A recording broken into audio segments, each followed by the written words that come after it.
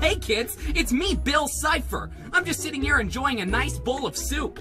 Whoa! Waiter, there's a Bill Cipher in my soup! Hey, stop drinking my pool! Well, darn it, I can't drink this.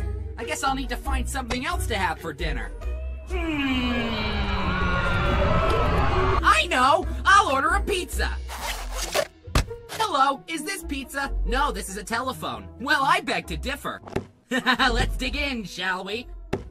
Wait a second, this isn't pizza. It's just a time vortex. What a ripoff! What kind of place are you guys running over there? You sent me a time vortex. I beg to differ. Hey, listen here, wise guy. I just want a good old-fashioned pizza. No vortex stuff. You already sent over a new one? That must be the delivery guy. Well, hey there, handsome. Well, hello yourself. I got a pizza for you. Awesome! But if there's a time vortex in there, I will destroy you. You probably won't, though, since we're the same entity. Oh, yeah!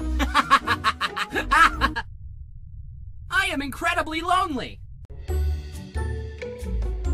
Piemations!